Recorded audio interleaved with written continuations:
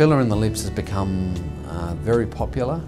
Uh, I think our philosophy here is, is that less is more. Alright, so I'm just going to do a little prick test. Let me know if it's sharp.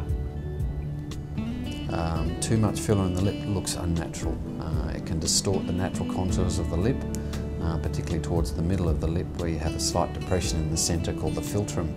Uh, too much of that uh, can uh, look overly inflated and look unnatural. I think it's important to keep um, a small amount at the lip line uh, which improves the volume of the lip and the contour of the lip without giving it an unnatural fullness.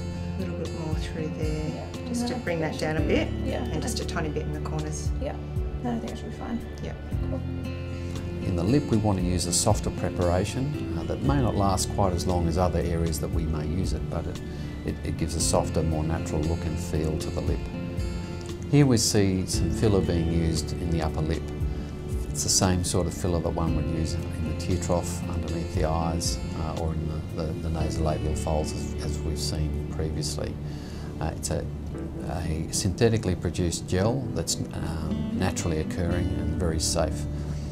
I think it's also very important when uh, addressing the lip that we balance the upper and the lower lip, that the, the upper lip is not too full. Naturally, the lower lip tends to be slightly fuller than the upper lip, and I think it's important to keep that balance. The other thing is, is the philosophy of less is more very important here in the upper lip. We've all seen overdone upper lips with loss of the natural lip shape, uh, which I don't believe is aesthetic.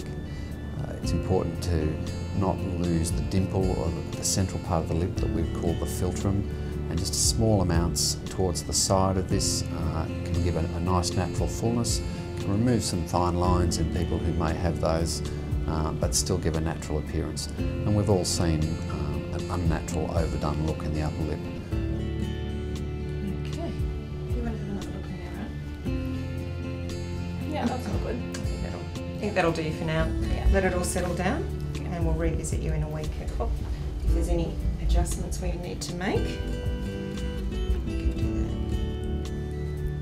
If you're interested in cool sculpting or any of the other procedures we have to offer, visit us at drsellars.com.au where you can find links to more information on all of those procedures and how to contact us. And we look forward to looking after you.